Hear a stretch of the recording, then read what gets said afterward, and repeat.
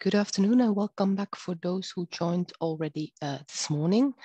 Uh, it's uh, 10 minutes past one, so we are going to restart with the second part of the seminar. Um, the presenters or the speakers will be sharing some knowledge in how to best manage your TC. So this is um, some best practices that they will share, especially important for TC secretaries. Um, so I have the pleasure to have my colleagues Raisa and Gonzalo present for this uh, presentation, and I would like to hand over the floor immediately to them. So please, can you start sharing the screen so that you can go on with the presentation? Thank you.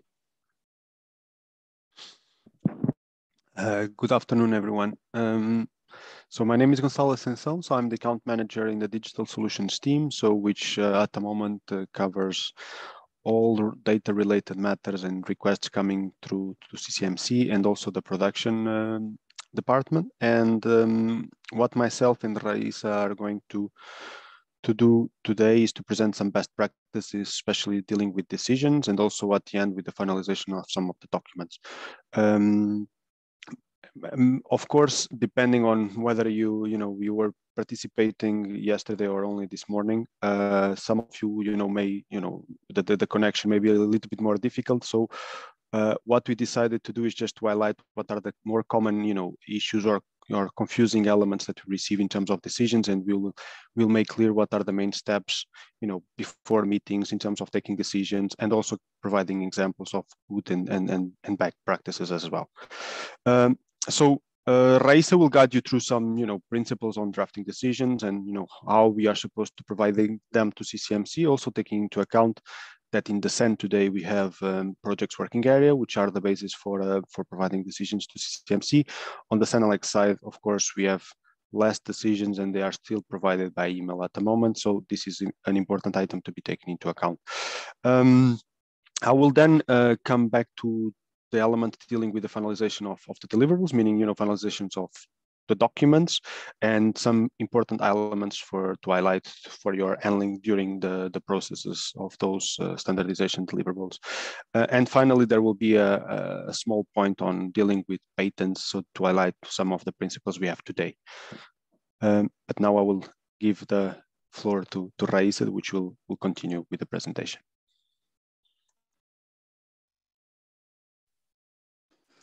Good afternoon. I'm Raisa. I work uh, in the data management team. So we get to interact a lot. And um, we will be going through, as Gonzalo said, some advice regarding um, how to prepare for the meetings, uh, how to draft decisions, and how to submit them um, via working area in CEN, and how to send them uh, for us in a way that facilitates your job and our job uh, on the CENELEC side. So um, first, um, there's a, this little to-do list to prepare before a TC plenary. And um, some good advice is to go to CEN or CENELEC BOSS.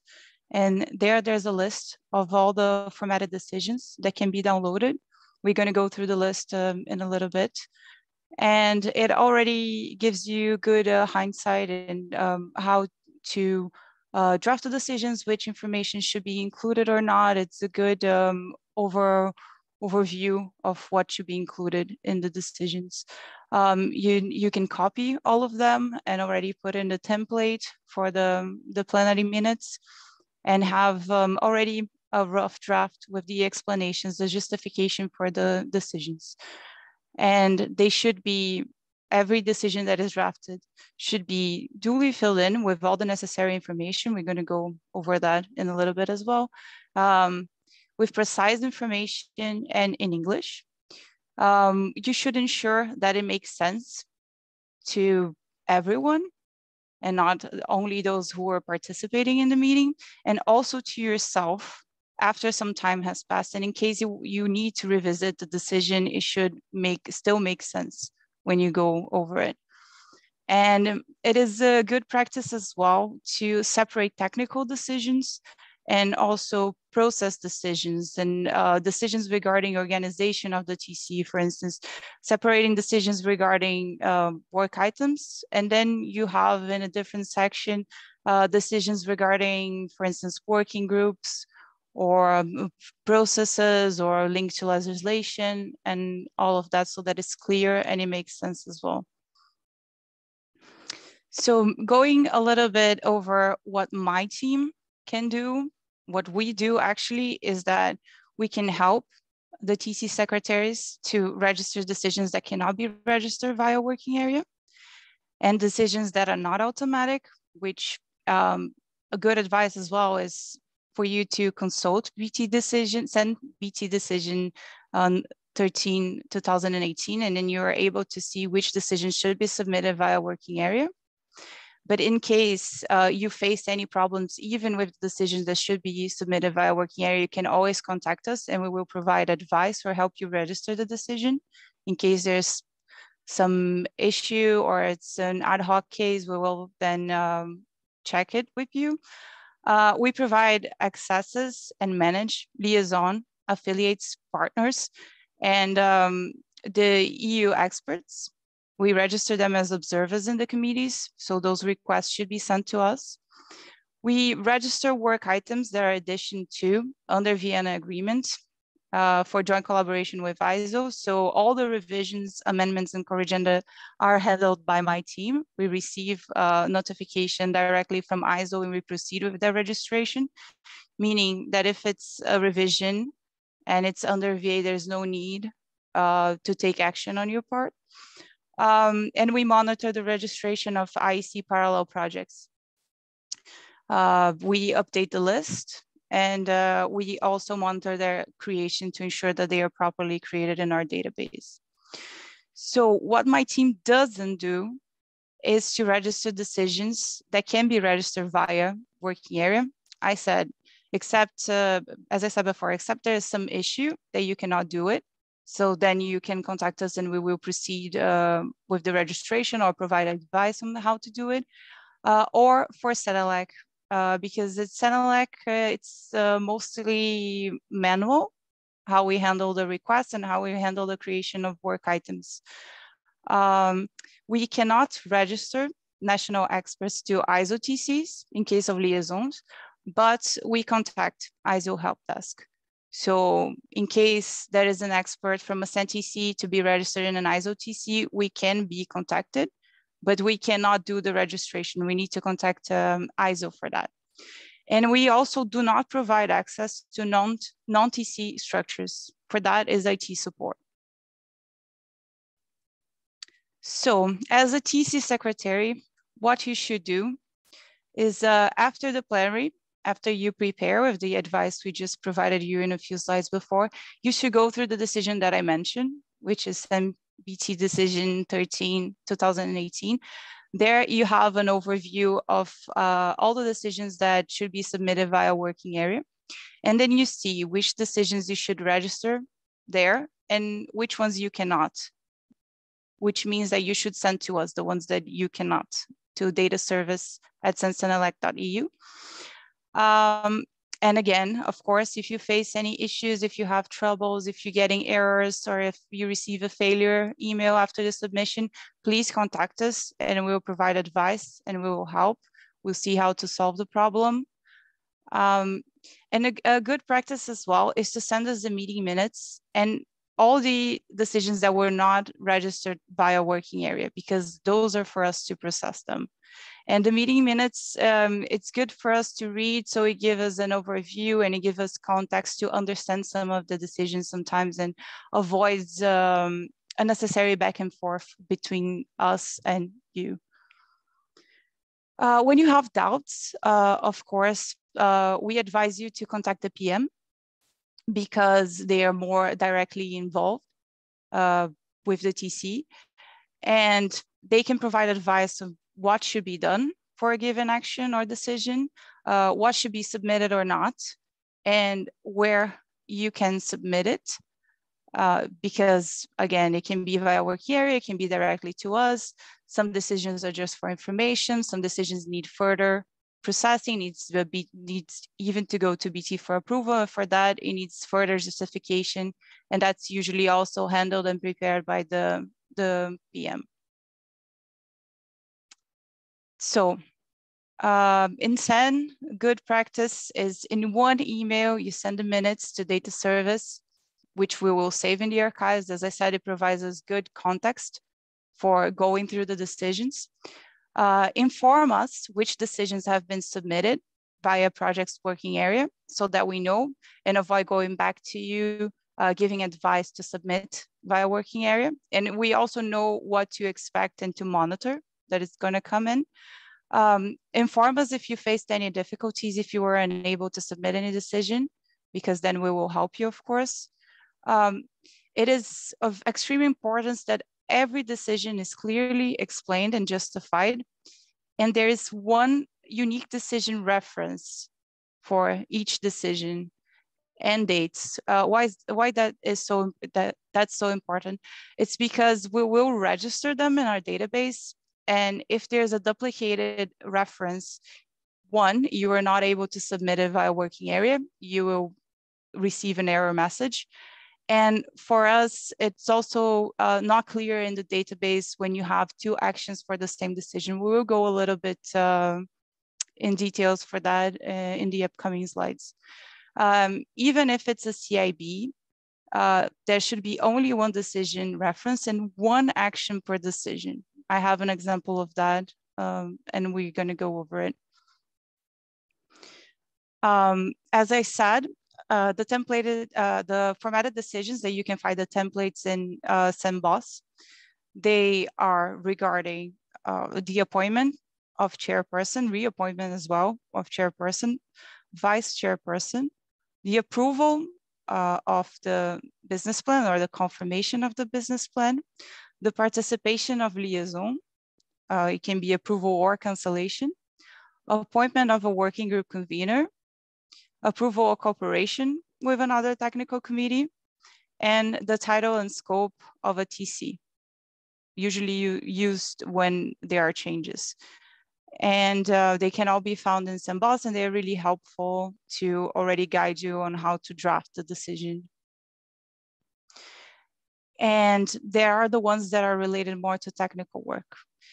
And for that is uh, the activation, everything regarding um, the work items, the activation, the adoption, um, the decisions for packages, to change the deliverable, to delete a work item, to extend the DOW, um, the future of VNs after inquiry, uh, negative result on the first formal vote, which is the decision uh, for a second formal vote, uh, merging work items, um, normative references, the review, uh, of the deliverables, transfer the work item lead to ISO lead when it's in lead, tolerance request, a deviation, change of um, deliverable, and uh, the, the review of VNs. It can be confirmation or withdrawal, and it's the revision um, is just a new work item that will be created. So those templates, they are all in CEN BOSS. And again, they are really helpful. It's good to download to create a folder and download all, all of them and then you can just consult whenever you you need or just to include prior to going to to the plenary and um, there's a difference here because um, mostly um, the majority of the delegated decisions come via working area. Uh, to those that don't know, the delegated decisions are decisions that um, the BT delegates to the CEN-TC. And um, they are basically just uh, ready to be implemented. And not all formatted decisions, just to be clear, are delegated decisions. The decisions regarding, and not everything that comes via working area is also a delegated decision. The decisions regarding, for instance, um, working groups and work appointment of working group convener is not a delegated decision. This is the responsibility of the TC uh, and can be sent to us because it doesn't come via working area. Mostly what comes via working area is related to technical work. But um, again, the delegated decisions, uh, they are those in this list. It's also, the list can be found in CEN BOSS. And uh, they are not all formatted decisions, again, are delegated decisions. But this, for instance, one of the formatted decisions is the change of title and scope of a TC, and that requires BT approval, despite being uh, in a formatted template. Um, and that's why the decision that we mentioned before, the CEN-BT uh, 13 2018, it's good because it gives a good overview of what should be submitted via working area and um, clarifies a little bit on uh, what are the delegated decisions. Um, and again, everything uh, regarding work items and technical work, uh, it's usually coming via there. And we receive it uh, every morning in data service. And we are able to see if there are any issues and contact you in case there's some element missing or if something went wrong. Uh, we will be coming back to you to clarify or to fix if there was any issue upon the submission. And uh, the delegated decisions that are regarding the TC organization, which are the ones that you can submit, submit directly to us, that they don't need BT approval and send. It's the appointment of chairperson. We will proceed directly with the implementation if there was no problem uh, in the reference. And we're, we're going to speak about um, how to draft a good decision and avoid uh, problems and going back and forth uh, appointment of vice chairperson, approval of the business plan, confirmation of the business plan, and again, the liaison, uh, approval or cancellation. All the decisions that are delegated, they are included in the weekly dispatch. They're circulated to the members every Monday. So this is also uh, why it's important that they are sent to us or they come via working area because they're going to be in the compilation that will be sent in the dispatch every Monday.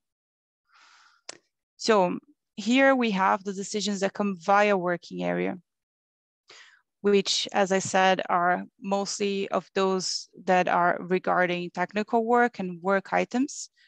And um, all of those require a decision uh, with exception of the activation of the one change option, which is done via working area, but does not require a TC decision. It's the last section in working area, which is actions not, not requesting a TC decision. And you can just select your work item there and do the validation of the planning and the changing accordingly. Um, and as I said again, um, this is a, this is the list of the delegated decisions, which is longer than the list of the decisions that can be submitted via working area because some, as I said, like related to TC organization, even though it's delegated, it doesn't require BT approval. It cannot be implemented via working area. It needs to be sent to us and we will proceed with the manual implementation and um, adding the decision in the weekly dispatch. Um, other decisions are decisions, as I mentioned previously, related to the TC internal organization which is a decision to create a working group, disband a working group, and change the title of or scope of a working group. And these need to have the same format. It needs a reference, it needs a date, and it needs to be sent uh, to us via email, and we will proceed with the implementation of the decision. Um, I would like to um, give some examples, some practical examples regarding drafting decisions in CEN and um, and suggest again to use the formatted templates. This is um, the formatted template for the creation of the working group. And when you use the formatted template, you already have the queue of what needs to be included in the decision to be clear and for us to be able to implement directly, such as a decision number, as I mentioned, which is decision reference, um, the TC number, the date on which the decision uh, was taken, the title of the working group to be created, the number as well of the working group. Then um, this is highly recommended that you provide this to us upon the creation of the working group, which would be uh, already a title, a scope, and a secretariat because if the secretariat is not provided to us, we will uh, go back and forth with you requesting uh, who is, uh, which um, NSB holds the secretariat, who is the secretary, because if we create a working group and we don't appoint a convener or a secretary, nobody will practically have access to that group. And therefore no documents will be added. So it's kind of pointless. So it's already good that this information is um, considered upon submitting this uh, decision to us. And also, of course, uh, the outcome of the voting in regards to the, to the decision. It has, of course, it needs to have been approved. Um, another good example of using the template is that uh, the information is on queue for you there. It reminds you what needs to be provided. It looks uh, like this. If you use working area to draft the decision, it also helps you a lot because you input the information, you can save the draft either in PDF or Word, and then you already will have um, all the text added for you there. So this is a mock-up one. You have already the TC number, the decision reference, the date it was taken. As I said, everything is really important to be filled in uh, duly and properly. The type of the decision so that it's very clearly, um, it's the standardized form that we call the decisions so that it's clear when we read it. Um, and of course, if you use working area, uh, it already picks up the information that you filled in. But if you just use the formatted template, you can also, uh, you will have to fill in this information here, which is which work item is, is concerning the skip of the formal vote in the case of this decision. So um, I cannot recommend enough that the templates are used because it's easier for you and it's also easier for us avoids uh, us making mistakes upon going through the list and checking the decisions. Uh, this is an example what to avoid when draft decisions. And for instance, here you see that um, this is a um, CIB for an activation of preliminary work item. And um, in the same decision for the activation of the preliminary work item, um, it was included that the project should be split in two parts. And this should be avoided as much as possible because upon the registration of this decision, an action will be missed. Because as I explained, we cannot register two decision references for two, uh, the same decision reference for two different actions. So it's important to not do that. If it is a CIB for activation of preliminary work item, only the activation of the preliminary work item should be included and a new decision should be drafted for splitting the work item.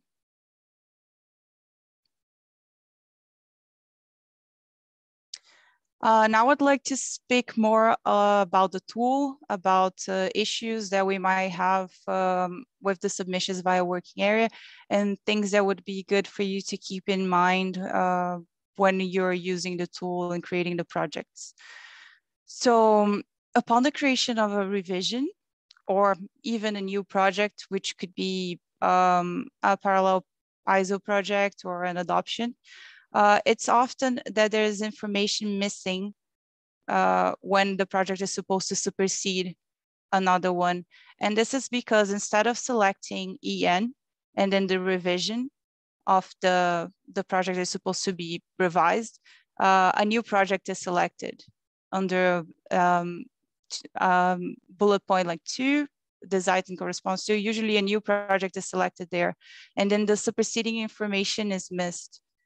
And unless this is mentioned in other fields like justification or scope, which is uh, field three, we, we, see in the image, uh, the supersession information is just missed. And this creates um, a necessary administrative burden because the project might end up being, the standard might end up being published and you have uh, another one that was supposed to be superseded that now needs to go to BT for withdrawal. So it's extremely important to pay attention when creating the projects that um, this information should be included. And if it's not possible, it should be included in the um, explanation, the justification. And ideally an email should be sent to us so that we ensure that everything is properly registered in the database and we don't miss the, the supersession information. Uh, please note that more than one project can be added to be superseded. As you see there, if there are several different parts, you can just add uh, other standards and we will create new lines. And as I said, even if it is, a, let's say, quote unquote, a new project that is an ISO parallel or is an adoption, you can still select the revision in field two.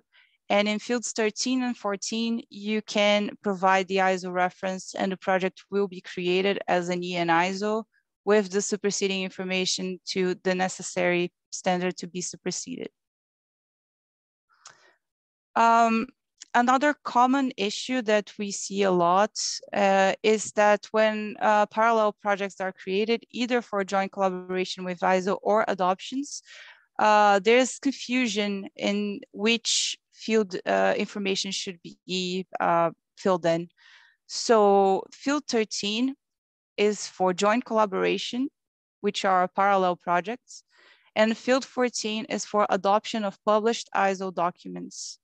And it's important that the information is uh, duly filled in in these fields because it avoids us to having to change information manually when we receive the, the project and we check against um, ISO portal and we notice that, for instance, uh, a project for an adoption was created, but the project on ISO side is still ongoing. So we will need to fix that manually and uh, it can be overlooked at times and cause uh, other problems down the line. So ensuring the, the correct encoding of the data uh, gives us a buffer procedure, no need to go back and forth with you and prevents errors in the lifespan of the project. Um, another I wouldn't say issue for this one, but um, I, I, think it's a difficulty that uh, many uh, secretaries face is that uh, upon the submission of decisions to skip formal vote, uh, it's not very clear um, how to select the, let's say the correct decision group. And you need to select launching of a procedure or tolerance request. And then in the other drop-down menu, you'll be able to select the decision to skip the formal vote. And um, the decisions to skip formal vote to be submitted via project's working area and will be further processed by data service upon their reception. Uh, and if you cannot find how to submit you and you forget about this or you, you can always uh, contact us and we will remind you that this is the, the way to submit. Um, and another reminder about this is that uh, for ISO parallel projects, which is joint collaboration with ISO, the decision to skip formal voting is needed. Uh, only for adoptions that the decision to skip formal vote uh, is uh, exempted. Um, and uh, I see that uh, there's been some questions. You're replying to them, Gonzalo? Right, okay, perfect, yeah. Um, so now uh, we would get more into CENELEC. And as I mentioned, for CENELEC, there's a lot more of manual data handling from our side. And therefore, we're more in contact with you for clarifications. So for CENELEC, after the meeting in one email, same advice, send the meeting minutes to data service because we're going to save it in archives. It gives us context to understand the decisions and to uh, interpret and see if there's any um, other information that's needed from your side. Also the TC report that will be submitted to BT for approval. And any difficulties or questions if you face, uh, please let us know and we will try to assist as much as possible. Uh, ensure the decisions are clearly explained and justified, and especially the ones that are in the TC report for BT approval.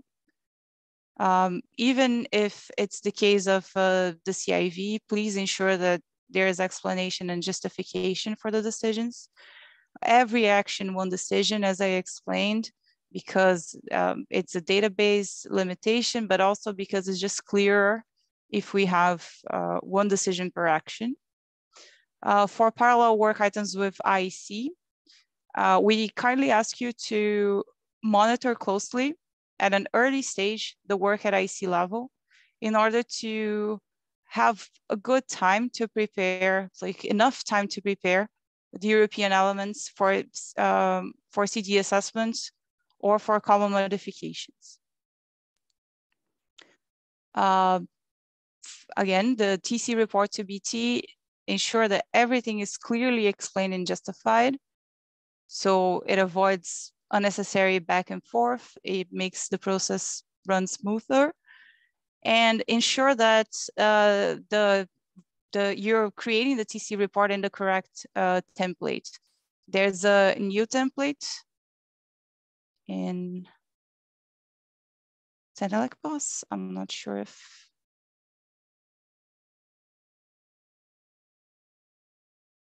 it's this is the correct template.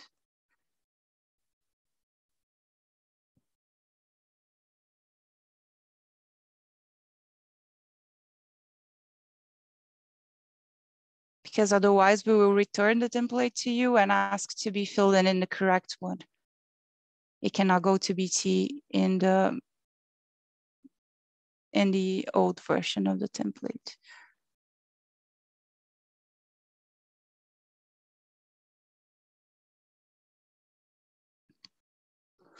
Uh, and in CENELEC, other decisions and requests, let's say, mostly requests, should be sent to data service via email. Uh, any decision uh, regarding a creation of working group, disbandment of working group, changing the working group title, appointment of working group convener, those which are decisions in CEN, in CENELEC it's only a request via email.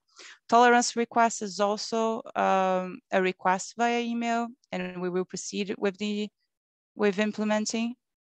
Um, activation of one change option. This in CEN is done via working area, but in CENELEC is the request via email for us. Uh, the new work item proposal, uh, the template should be sent for us. And in the next slides, uh, we will uh, discuss a little bit on the good practice and how to fill it in. And skip form of vote is also a request via email to data service. Um, here we can see an example of creation of working group. Even if it's a request, it's just good to have all the information, as I mentioned. Uh, if we create a working group, but we don't assign a convener or a secretary, it's a group that it's created, it has a space for the circulation of documents, but no expert is there to coordinate the work and add documents.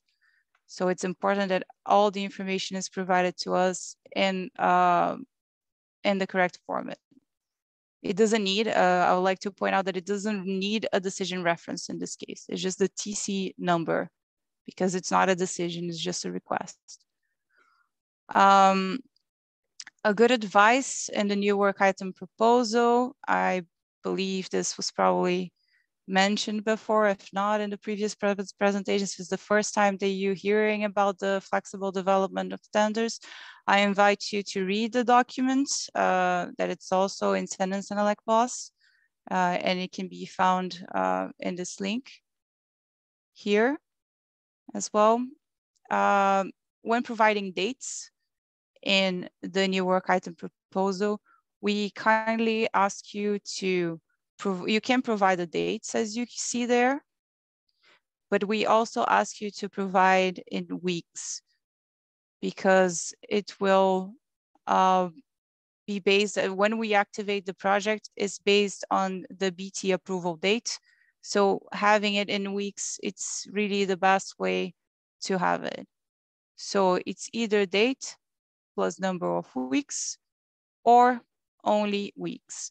And I would like to point out that for this, the second example, you can also have uh, closure of inquiry plus the number of weeks for the formal vote stage, which is the last date, which you see 12 weeks now. Um, just a reminder, the date for the circulation of the first working draft is a fixed date. It's always half of the time for the circulation of the draft of, for inquiry. So there's no need to, um, let's see, think a lot about the, that date. You need to think about the date for uh, delivery of the draft for inquiry, and then 2060 will automatically be half of the time for 3099.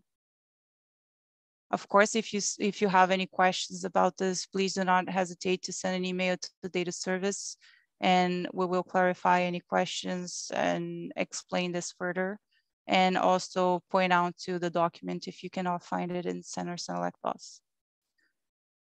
Uh, we now have um, online calculator tool that it's very useful to calculate and make sure that the dates that you provide to your project are compliant to the flexible rules. You verify your plan and then it's valid, but you also change the dates for this stage and this stage, which is the delivery of the draft for inquiry and the delivery of draft for vote. So another uh, advice I would give is to use the calculator a little bit to see if you understand the rules against, uh, of course, the document for the flexible development of standards. And um, it's already really, uh, it's easy, it's easier this way, but it also makes you more acquainted with the rules and how it works. And it's just overall very, it's a good exercise to use the calculator. And it helps you fill in the form as well especially with the number of weeks, because then you can provide more or less the date and the number of weeks that you foresee, taking into account, of course, that again, the project is activated based on the date that BT approves, plus the number of weeks uh, provided in the form. Um, another thing that I would like to mention is that uh, the information regarding offering to IC uh, there should always be um, an accurate and short justification regarding the reason of not offering. And why I say that is that we have um, a technical limitation that it cannot be very extensive. So it should be as short as possible and as clear as possible. Something like this not applicable because the project will introduce call modifications in according to LVD essential requirements. So it's succinct, it's not uh, very um, complex, and it's short. So um, ideally, we should see uh, this in the form. Um, also, the information regarding members endorsing the work. It is mandatory to have at least five members endorsing the work in the new work item proposal. If this information is missing, the request will not proceed to BT approval. So it is very, and we will go back and forth with you regarding this. So it's important that from the bat, uh, you already have uh, this information mentioned in the in the new work item proposal.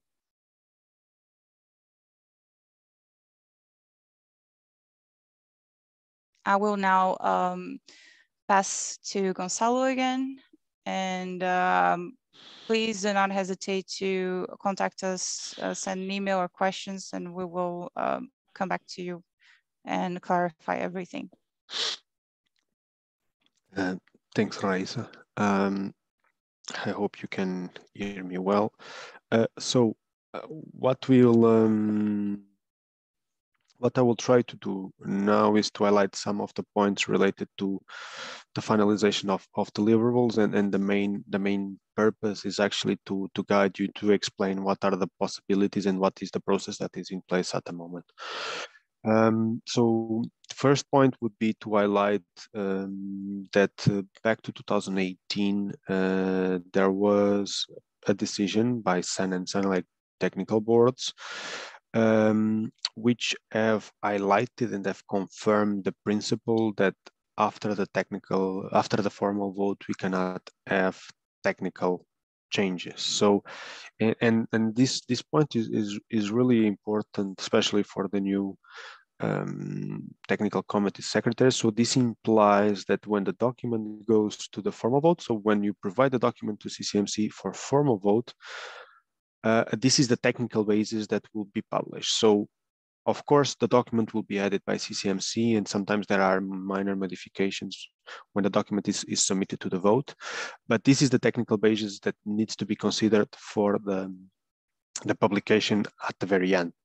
Um, highlighted with this decision uh, was also an important point um, that it is important for technical bodies to really make a good assessment before sending the documents to CCMC, whether it's at inquiry, whether it's a formal vote, uh, especially if you think about that at inquiry, you can also skip the formal vote and go through publication. So it's important that there is an assessment uh, before providing documents to procedures to CCMC.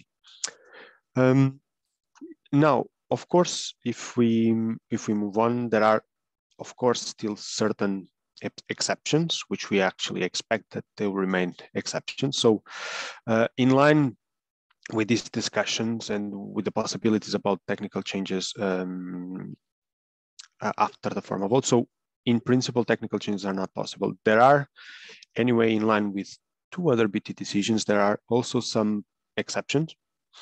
The first one is that, of course, during the handling of the document between the formal vote and the, the start of the procedures, CCMC could, for one reason or another, it, it introduced editorial uh, errors in the document. So, and, and this is something uh, uh, that we could, of course, take into account in the finalization of the publication.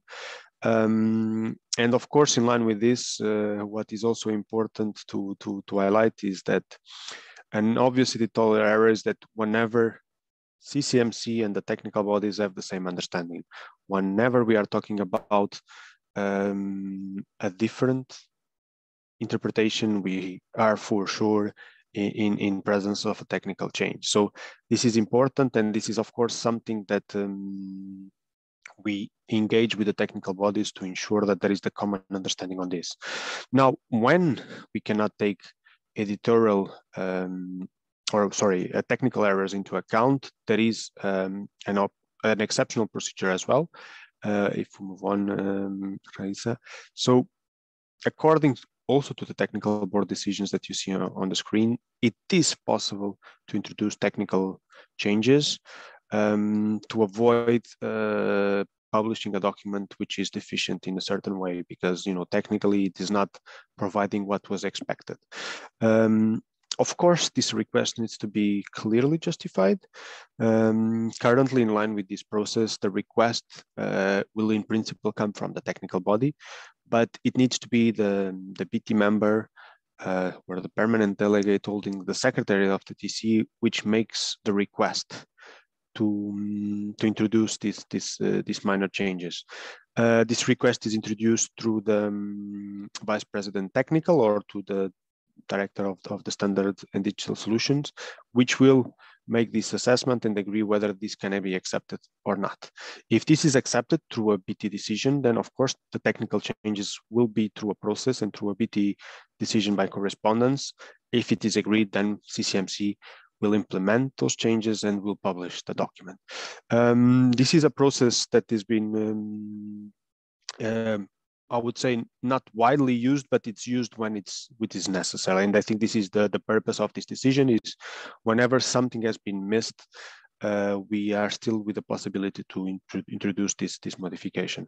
Uh, but I, I, I highlight again the principle that if the document arrives with a good quality at at the formal vote and it's expected that you know the document that arrives at formal vote is a document that is expected to be published after the the end of the formal vote.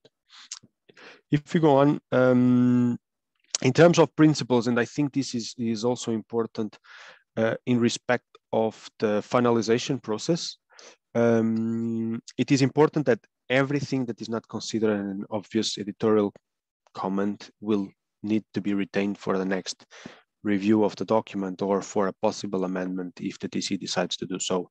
Uh, and those are usually recorded in the, in the table of comments by, by CCMC in, in this way. Now, in terms of the, the TC proofing, and I think this is extremely important for you to, to take on board and, and, and to consider as well.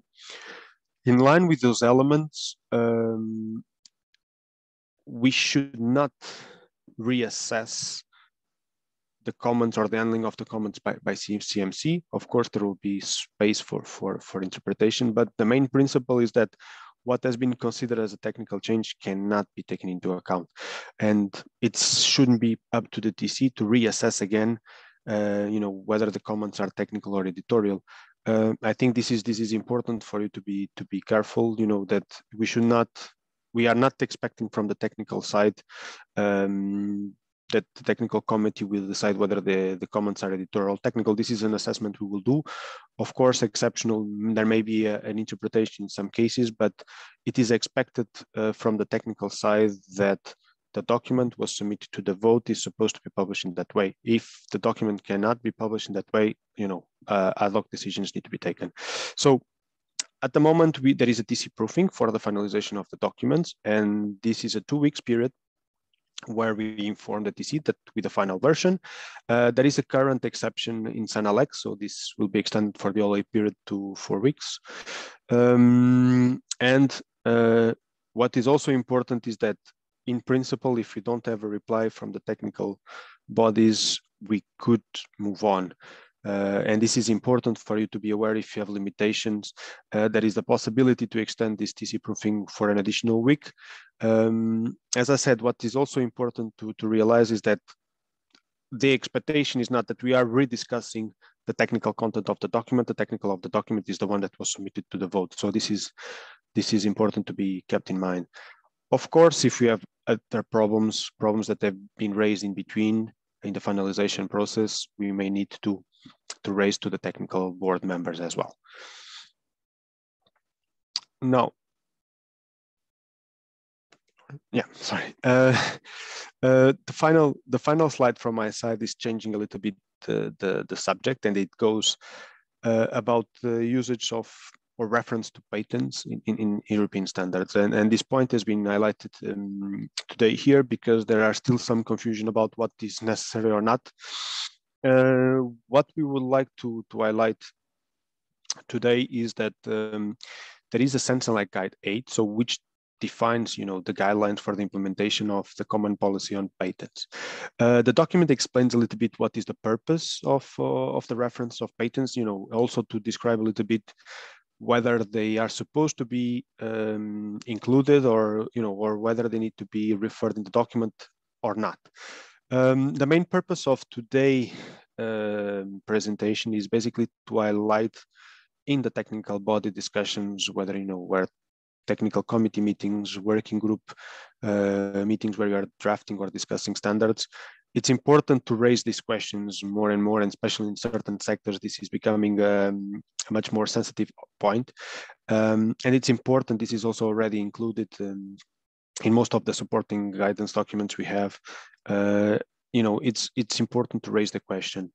Uh, and then if there are uh, elements related to patents, then this guide eight will guide us through uh, which options to take. You know, of course, uh, the first element is to to identify um, whether this is a essential for, for the standard. So this is the, the first principle. And then if this is the case, you know, there are different licensing conditions that need to be discussed and agreed with a, with a patent holder. Um, there is additional information in, in the CEN-CENELEC BOSS, uh, the forms that are necessarily for those purposes as well. And of course, the patent holder in that case will need to, to agree and to sign a, a license um, for the for its use. Uh, and so, but this is all described in CEN-CENELEC Guide 8, and there is some information additional in, in CEN-CENELEC BOSS. Um, from my side, this was the, um, the last slide. Of course, myself and Raisa will remain available to, to answer any additional questions that there may be uh, from the colleagues. And if there are no additional questions, I will uh, give the floor back to Els. Yes, thank you, Gonzalo and Raisa, for this uh, nice overview. I think it was very interesting. Um, well, all the questions have been replied in the meantime. Uh, the attendees might have additional questions uh, coming up, so I would like to suggest them to either write them now or uh, get in contact with you afterwards if needed. Uh, if I'm not mistaken, our director of standardization, uh, Cinzia Missiroli, is again connected just to uh, provide you with a little closer, a closing message for all the attendees. Cinzia, are you there? Yes, thank you very much, Els. Uh, thank you very much, Gonzalo and Rais, also for this last uh, session. Um, um, Els, I see that there is a, a raised hand uh, from Linda Handy. Yes, I see that as well, but okay, uh, I don't know if you accept, but we uh, agreed that all attendees would write their questions in the Q&A. I see the hand is uh, Okay. Gone, gone again. Okay. Lowered. Okay. Uh, is, um, thank you very much also for this last session, and thank you all for having uh, spent this morning and beginning of afternoon with us. We are certainly very well aware that this is a lot of information. So it's quite a packed kind of session with many different uh, uh, kind of uh, yeah, information that are there to help you and guide you in your uh, in your work. Um, certainly, and hopefully, this is not the first time that you have heard about many of them, and it's just also a reiteration of things that might have already been communicating to you via your uh, your contact here at the CENELEC Management Center or um, by the national uh, standardization bodies and national committees. Uh, however, don't uh, hesitate, as, uh, as uh, Hans was uh, mentioning before, if you have questions, any doubt, don't hesitate to contact either the, your regular project manager, the sectoral project manager, or the other different people that you have heard this morning, should you have any specific question we know that uh, um, it's not always easy to follow this type of session when there are discharged with the, with the information. We hope that you enjoyed it nonetheless. Um, we also are aware that uh, the, uh, the, this kind of uh, mm, technical body officer seminars are, are, provides also an occasion for people usually to mingle, to get to know them, uh, each other, and also to exchange uh, experience. And that's also what used to be the beauty of this uh, of this kind of event. Unfortunately, this year was not possible, but uh, we hope that we will be able to host you uh, again in a couple of years time. In the meantime, don't um, please don't forget that we regularly have dedicated trainings and dedicating webinars on a series of topics. So please uh, follow those uh, as well whenever you can. In any case, they can all them, most of them, if nowadays all of them are also recorded and made available on our website. So all the material is always at your disposal and don't hesitate to again to contact us. We are here for you to support you and to help you uh, in this um, fantastic work that is standardization and uh, the standardization uh, development process. So thank you again. I wish you all the best. Take care. And uh, while we are not that far away from Christmas, Merry Christmas to all of you and a happy beginning of 2022.